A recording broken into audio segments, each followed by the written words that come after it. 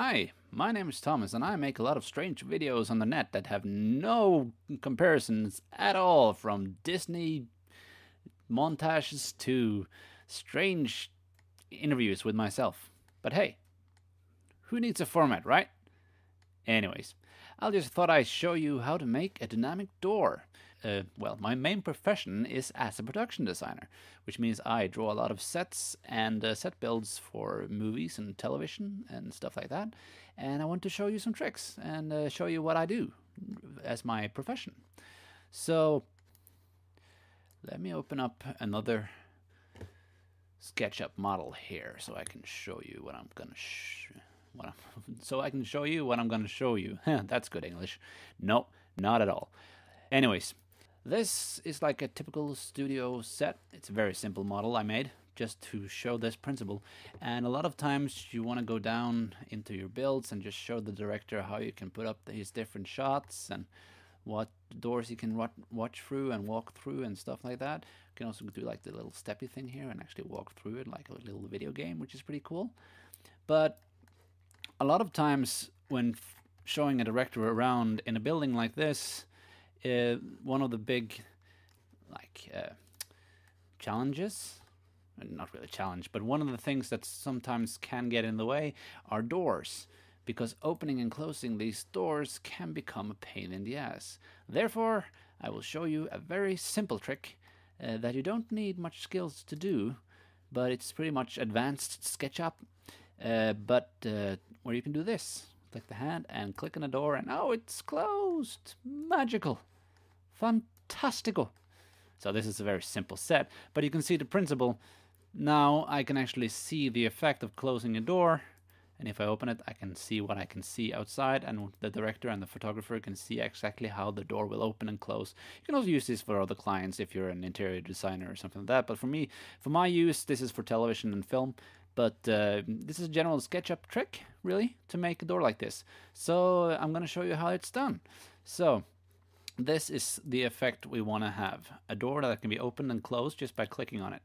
Because SketchUp has these advanced settings here called Dynamics Components. Now this won't work unless you have the Pro version. I'm sorry guys, you have to pay for it. Or crack.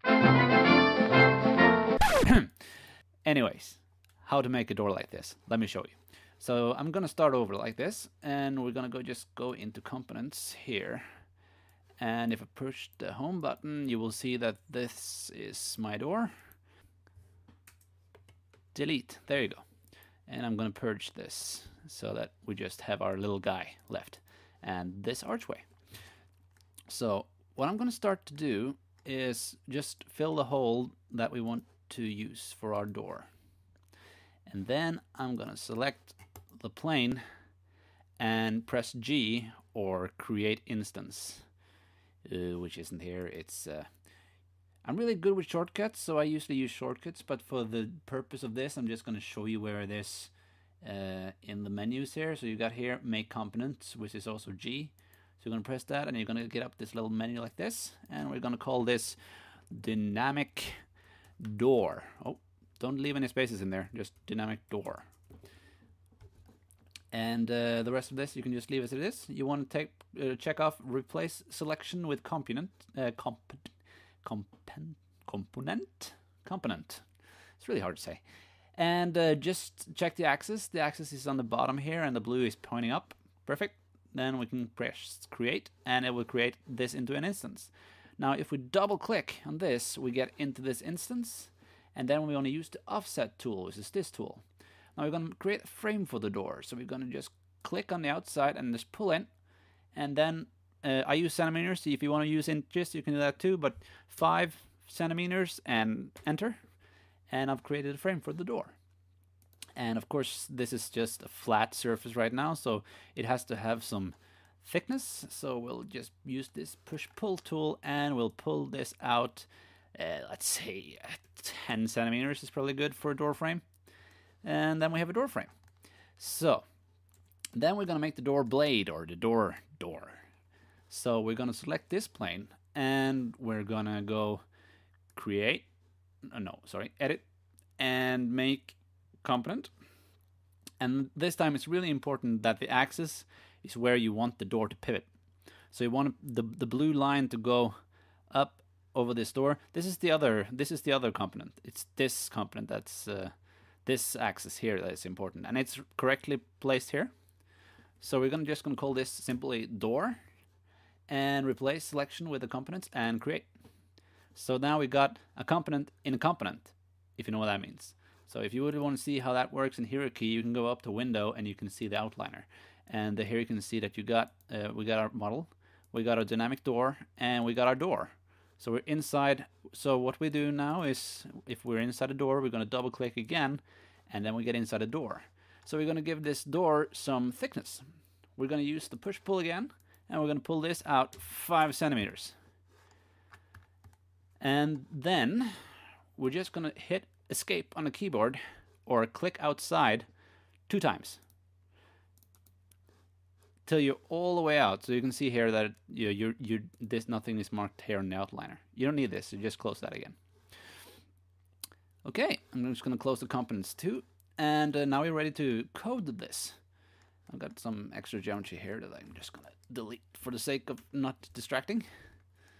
And uh, then we're going to go mark this. And you see this little guy?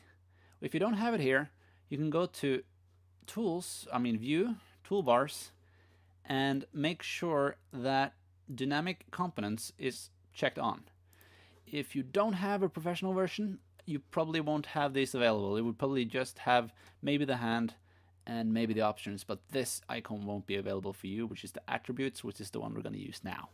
So you go into the attributes, and uh, here you see our two components. You see the, the main component, dynamic door, and you see the door component inside the dynamic door because it's a little bit indented. And so we're going to uh, press the plus sign there, and we're going to add an attribute. And we want the door to rotate along its Z axis, or Z if you're from England, whatever you want. And we want that attribute to be controlled by another instance that we're going to call door opening. Press enter to, to finish that. And just for the, for the testing now, I'm going to put 45 and press enter so that that actually has a value. Now, the rotation Z, that is going to be decided. And we're going to put equals. I want the negative values, and I'm going to put a minus of door opening. And I'm going to press enter. And there the door goes open. Pretty cool, huh? Well, now you see the reason I put minus there. I could just put, put door opening, and maybe it will actually go some other way because your axis is different than mine. Uh, so if you just do door opening, you see it's opening, but it's opening the wrong way. So the reason I put a minus there is just to make it open the right way. Okay, so now the door is open and it's controlled by this door opening, but uh, I can I, still nothing will happen if I click on it. That's because we don't have an on-click attribute yet. So we go we're gonna go up to top and we're gonna select dynamic door. Oh, I only have five minutes left before my recording stops. Uh, let's go this. Uh, we're gonna go dynamic door and we're gonna press on click. And on click, we're gonna put in a function. So we're gonna put function up here and click the drop down menu and go all the way down here. And you're gonna see on click functions and there's gonna be an animate attribute. You're gonna make sure that the the cursor is inside the on click and you're gonna click insert and double click on attributes and then click on door opening down here. Look what happens. It actually replaces the instance with the door and apostrophe and door opening. So that's going to animate that state. So you got the different states behind here. We're just going to take those away for now because they're not right. And we're just going to have comma, 0, comma, 45, comma, 90 and that's going to make it roll around from 0 to 45 degrees to 90 degrees. You can put in more here if you want, but that's how we want it to go. So we're going to just press enter, and now you made a dynamic door. Click on it to see if it works, and uh, there you have it. So you can go in here and you can edit this further if you want to go in here and maybe like have a little window in the door or something like that. You can do that too. Just push pull and uh, go out again and test it one more time just to see if it works. Yep, it still works. And uh, that's how you make a dynamic door. I hope this is useful for you. And uh, this has already gone on for like 10 minutes, so I'm gonna shut up now. And I hope you can use this for whatever you wanted to. Uh, once again, uh, this is Thomas or Mr. T on the internet. Uh, I'm a production designer, and this is a little tutorial of